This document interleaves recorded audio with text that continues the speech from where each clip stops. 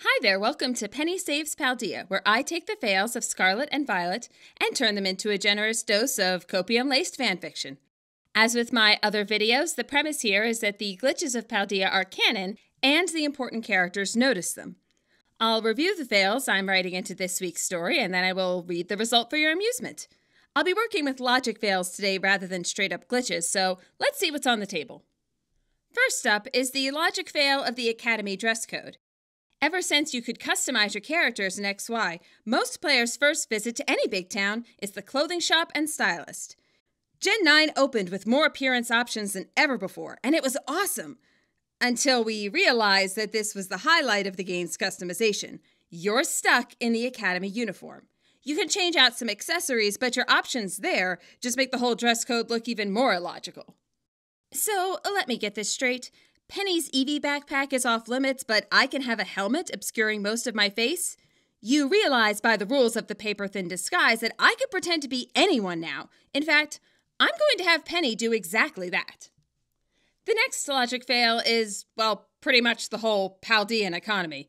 Juliana gets paid by Penny during Operation Starfall, but where do other students get the cash and TM materials for their treasure hunts? It's not like taking down the gyms or beating high level Tera raids is trivial for kids with level 5 starters.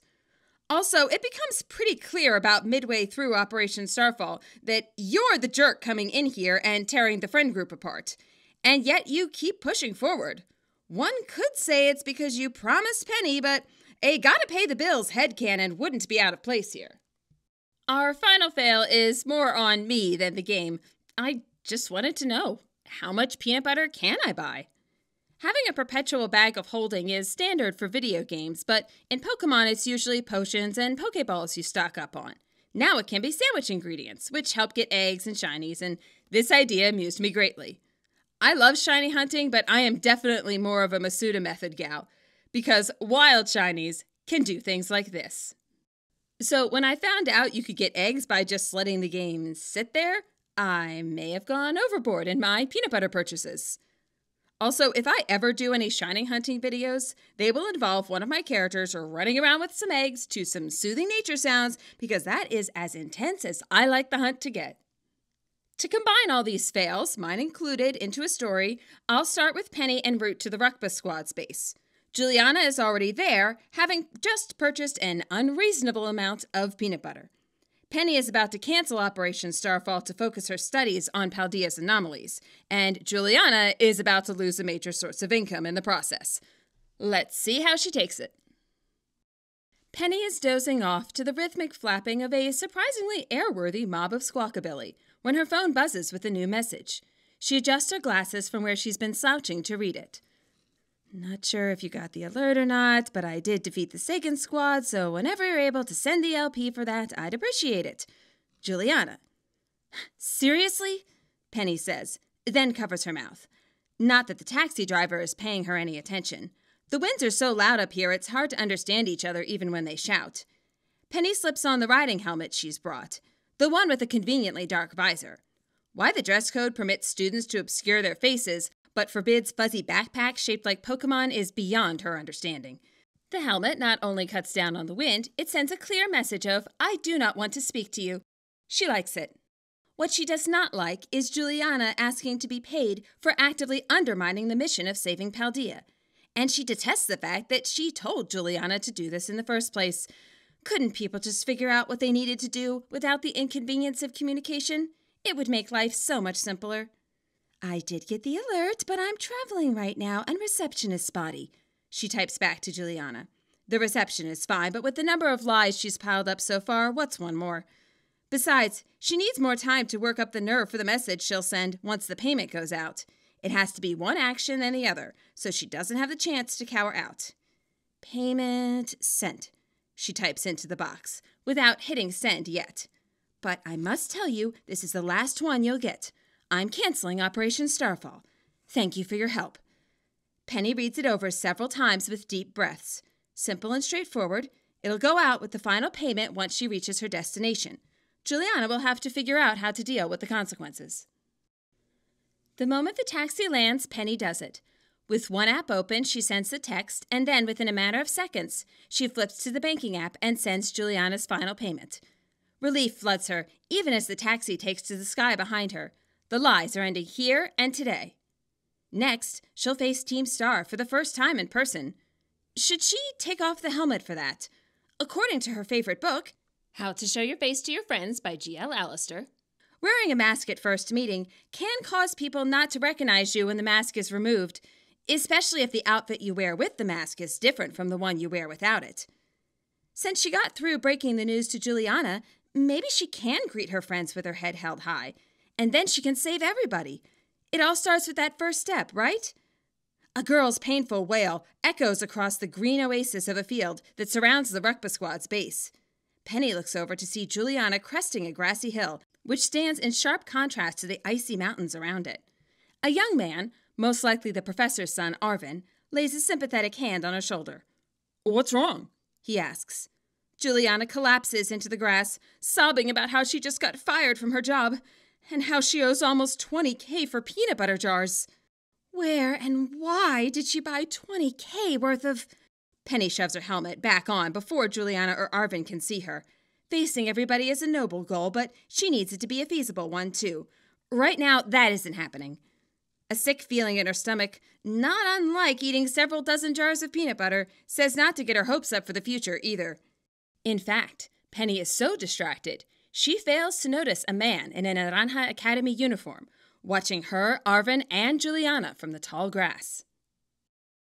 If there's one thing Clavell prides himself on, it's his sense of subtlety, of knowing when the situation requires a quiet approach. A lesser director might march into the Ruchbah squad's base and demand to know why a wealthy business heir like Ortega would join a group like Team Star. But Clavell has chosen to follow Juliana from a distance and see what Team Star does next. She's proven herself quite capable against the Segin squad, but Ortega's formidable crew has already demoralized her without so much as cracking open the gate. Clavell knows this because of how she cried out in great alarm only a moment ago. He cannot decipher her words from this distance, but she's been looking at her phone the whole time. Perhaps Team Star has sent her photographic evidence of their sinister plot to destroy Paldea piece by piece. Up until recently, Clavell thought the same of Team Star as everyone else. They are troublemakers, hooligans who spend class time customizing their clothing and vehicles with the most flagrant disregard for dress codes and decency. But in the past few weeks, Clavell has concluded this is all a cover up for their truly heinous plot, pulling Paldea's reality apart at the seams. A genius level epiphany, to be sure, but Clavell hasn't made it in a vacuum. An anonymous source sent the school a list of incidents shortly after the inception of Operation Starfall. Clavell didn't want to believe it at first, but the more he's paid attention, the more he's noticed the strange occurrences around him. It's especially bad in the classrooms. Sometimes his feet are so sluggish he can barely move in there. And to think, all this time, he's blamed such effects on his questionable choice of morning coffee. The source didn't name any culprits, but Clavell knows how to read between the lines. Something bad is happening. Ergo, an organization that begins with team and ends in some jazzy sounding noun must be responsible. How fortunate he has Cassiopeia and Juliana to help him bring these criminals to justice. He hopes to speak with her before she enters the base itself. He simply needs to watch and wait for the opportunity. Meanwhile, Juliana dries her eyes, feeling more than a little foolish as she scrolls through her account balance. True, the loss of income from Operation Starfall is a major hit, but she's completing the gym challenges faster than most, and the pay for that is quite decent. She's never considered a career in the league before now, but the possibility has moved pretty high up her list. Of course, it will have to come after she helps Arven maintain a consistent corporeal state. His random phasing through solid objects is really starting to worry her.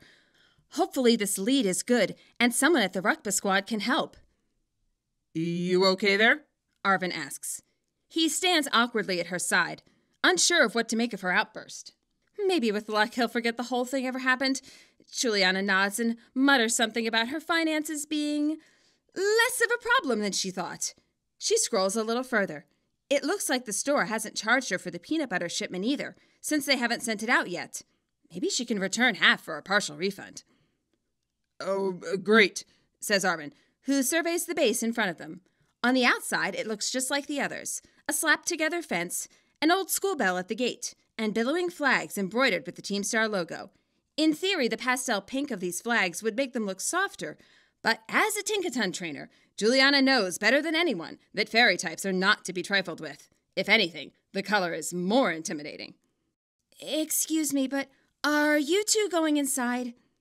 Juliana startles. The quiet voice sounds familiar, but when she turns, she doesn't recognize the speaker at all. The words come from a shortish girl wearing a navy great ball sweatshirt, a shiny Eevee backpack, and a helmet that hides most of her face. She reminds Juliana of that shy girl from school, but the backpack and sweatshirt are different, and the shy girl does not wear a helmet. So they can't be the same person, can they? Oh, we're about to, Arven says, straightening his backpack. Mm-hmm. And you are? I came to help with Team Star's research into the anomalies, the girl replies. My name's, uh, Jenny. Juliana introduces herself and Arven. Jenny doesn't answer directly, but she does mutter something that sounds like, Huh, guess GL Alistair is right. She then turns and walks towards the gate with a slow but purposeful stride. The girl really does seem familiar, just like Clive did when he first showed up. Juliana starts to follow, but as she does, Arven pulls her back and leans in close. Don't turn around, but there is a creepy man with purple sunglasses watching us from the grass. Pretty sure he's been following us since we left the Segin squad. Juliana lowers her hand from its defend my personal bubble position and presses Arven for more details.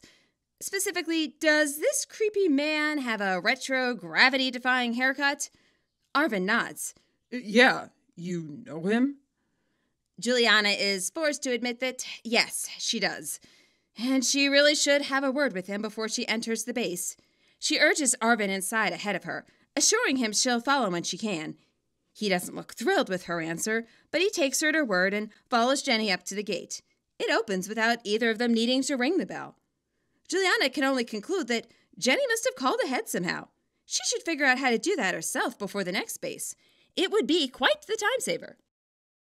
Okay, that's all for this chapter. Thanks again to Stick Studios for the outro and to you guys for watching and subscribing. I decided to post early rather than schedule an upload while I'm on vacation, so the next video will be out June 29th. Until then, happy reading and happy training.